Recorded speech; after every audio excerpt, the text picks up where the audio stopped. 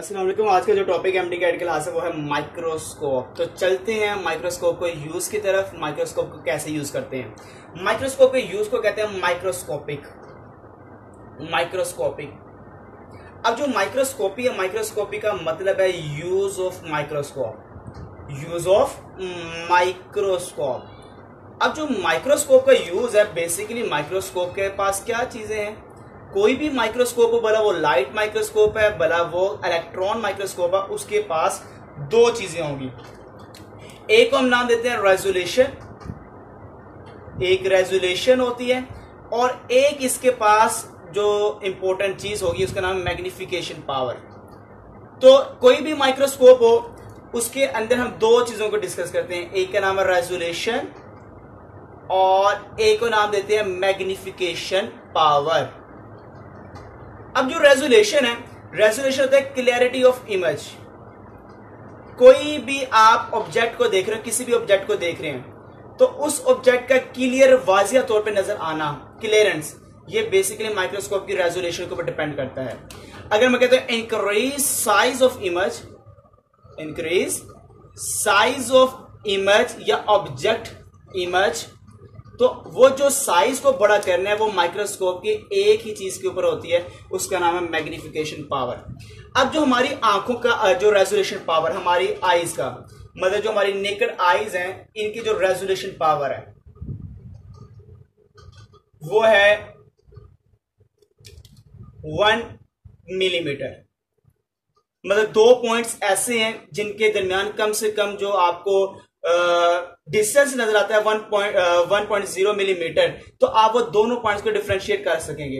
अगर इससे ज़्यादा उनके दरमियान फासला मौजूद है मतलब कि उनके दरमियान मौजूद है ज़ीरो पॉइंट फाइव मिलीमीटर तो आपको वो एक ही डॉट नज़र आएगा, दूसरा डॉट नज़र नहीं आएगा। जैसे फॉर एग्ज़ाम्पल ये एक डॉट है और ये जो दूसरा डॉट है, आपने देखा कि इसके दरमियान डिस्टेंस है वन मिलीमीटर तो आपको दो पॉइंट नज़र आएँगे।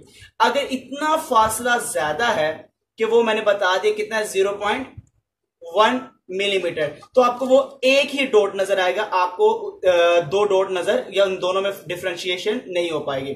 इसका मतलब जो हमारी आँखों की जो रेजोल्यूशन पावर है, वो है वन मिलीमीटर जो कि हम कम से कम, जो कि दो पॉइंट्स के दरमियान जो डिस्टेंस में फ़र्क कर सकते हैं, वो है वन मिलीमीटर ये हमारी आँखों की रेजोल्यूशन है। पॉइंट किलो हो गया। अब इसी के बाद अगर बात करते हैं जब माइक्रोस्कोप की तो माइक्रोस्कोप के हमारे पास दो टाइप्स हैं।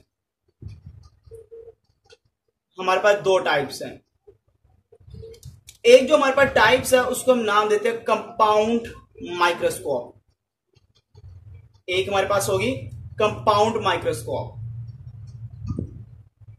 और जो दूसरी हमारे पास है, उसको हम कहते हैं इलेक्ट्रॉन माइक्रोस्कोप इलेक्ट्रॉन माइक्रोस्कोप तो बेसिकली यहाँ पे आपने रीडिंग को याद रखना होता है एमडी कैट में रीडिंग लाजमी तौर पे आती है, या कुछ आपको यहाँ पे एमसीक्यूज आ सकता है रेजोल्यूशन मैग्निफिकेशन निकालने के तरीका का तो इंशाल्लाह वो भी देखेंगे।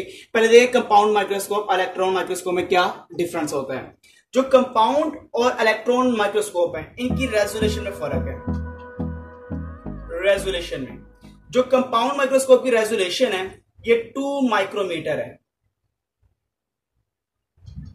ठीक हो गया। और जो इलेक्ट्रॉन की ये टू टू फोर एंगस्ट्रॉम है।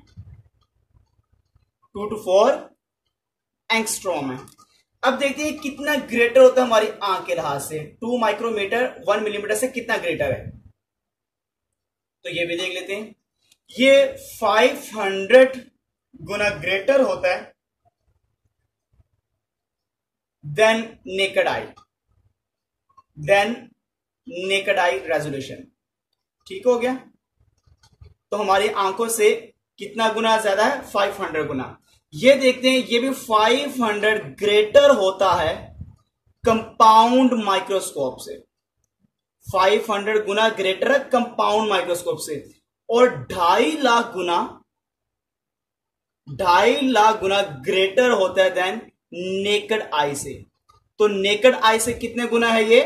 ढाई लाख है और कंपाउंड आइस कंपाउंड माइक्रोस्कोप से ये 500 ग्रेटर है और ये हमारी आँखों से कितना ग्रेटर है? ये आपको नज़र आता है 500 गुना ग्रेटर होता है जो कि रेजोल्यूशन किसकी? कंपाउंड माइक्रोस्कोप की। अब यहाँ पे देखते हैं कि इन दोनों को चलाने के लिए जो लाइट का सोर्स है वो कौन कौन सा है? मतलब कि यहाँ पे मैं हेडिंग बना बना दूँगा एल्यूमिनेशन सोर्स एल्यूमिनेशन सोर्स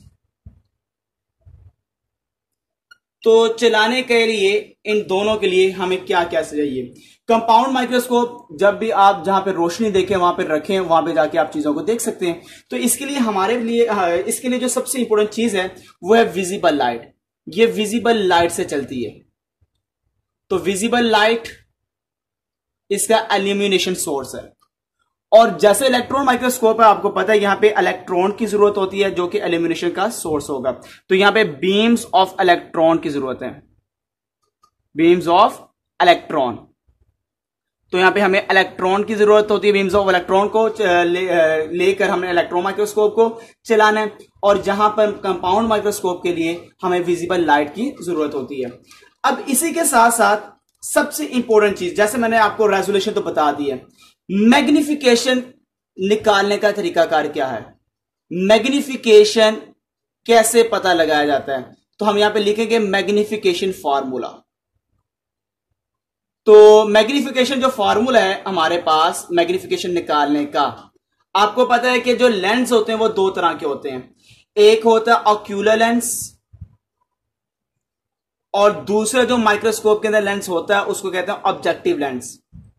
तो इन दोनों लेंस को आप मल्टीप्लाई करें तो आपके पास आ जाता है मैग्निफिकेशन पावर ऑफ़ माइक्रोस्कोप जैसे आपको पता कि जो हम कंपाउंड माइक्रोस्कोप के अंदर डिफरेंट किस्म के ऑक्यूलर लेंस को यूज़ कर सकते हैं। जिस तरह एक होता है, हमारे पास 5x पावर वाला होता है, एक 10x पावर वाला भी होता है एक 20x पावर वाला भी होता है, एक 40x पावर वाला भी होता है, हम इन लेंस में से कोई भी यूज़ कर सकते हैं, ऑक्यूलर लेंस में।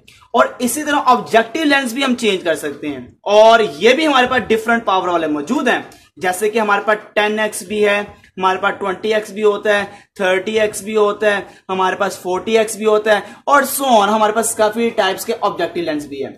आपने क्या करना है, जो आपके पास माइक्रोस्कोप है, आपने देखना ऑक्यूलर लेंस कौन सा लगा हुआ जैसे फॉर एग्ज़ाम्पल अक्यूरल लेंस लगा हुआ है टेन एक्स।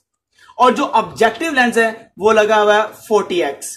तो आपने देखा कि टेन एक्स ऑक्यूलर लेंस है, और जो फोर्टी एक्स है, वो कौन सा वाला है? ऑब्जेक्टिव लेंस वाला है। तो आपने इन दोनों को क्या कर देना? मल्टीप्लाई।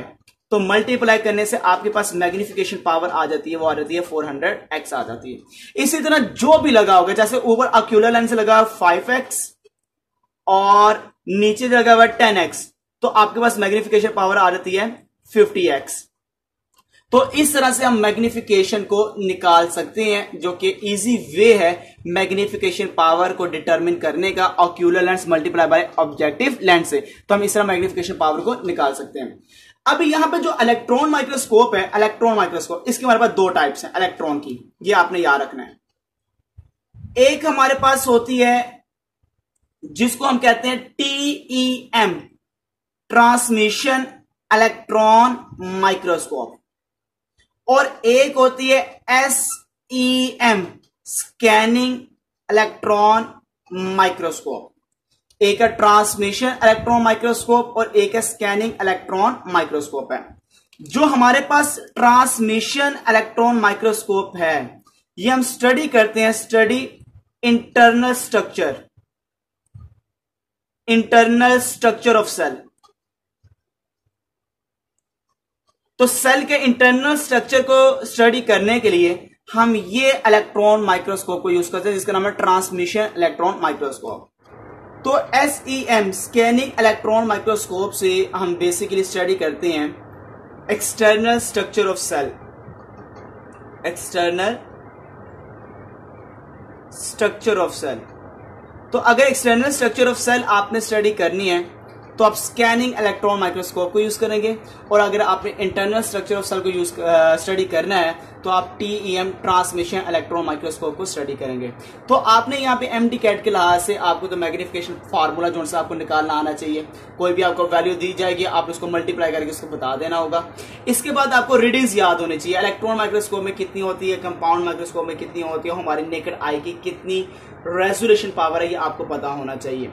तो ये है माइक्रोस्कोप जो कि आपने इन डिटेल स्टडी किया है according to M D cat के लिहाज से।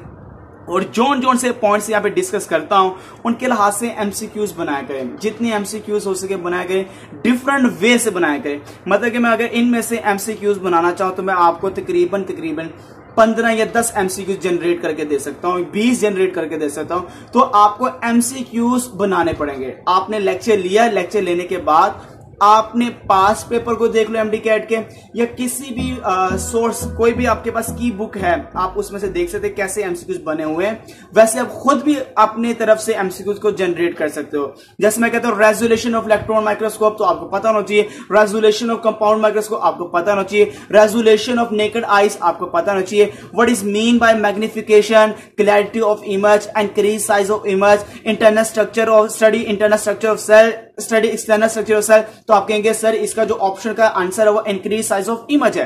तो अगर मैं कहता हूँ source of illumination in compound microscope आपको मैं कहता हूँ beams of electron wavelength light या विजिबल लाइट सर इसका ऑप्शन है बुक की लाइन है विजिबल लाइट है। तो इस तरह से आपको एमसीक्यूज खुद ब खुद जनरेट करने होंगे। मैग्निफिकेशन निकालने भाई। आपको मैंने दे दिया मैग्निफिकेशन का, तकरीबन ऑक्यूलर ट्वेंटी है, और जो ऑब्जेक्टिव लेंस है वो थर्टी है। तो आपने मल्टीप्लाई करना आपके पास उसका आंसर आ जाएगा। तो इस तरह से आप एमसीक्यूज को खुद ब खुद प्रैक्टिस किया करें। लेक्चर में दे देता हूँ। लेक्चर में बना देता हूँ इजी इजी मेथड बताता हूँ और वो मखसूस पॉइंट में डिस्कस कर लेता हूँ जो एमडी कैट के लिहाज से बहुत ज़्यादा इंपॉर्टेंट है। मगर एमसीक्यूज के लिए मैं आपको लाजमी कहूँगा कि बेटा प्रैक्टिस किया करें, उस टॉपिक के अंदर से एमसीक्यूज को जनरेट किया करें। ओके बेटा, अल्लाह हाफिज।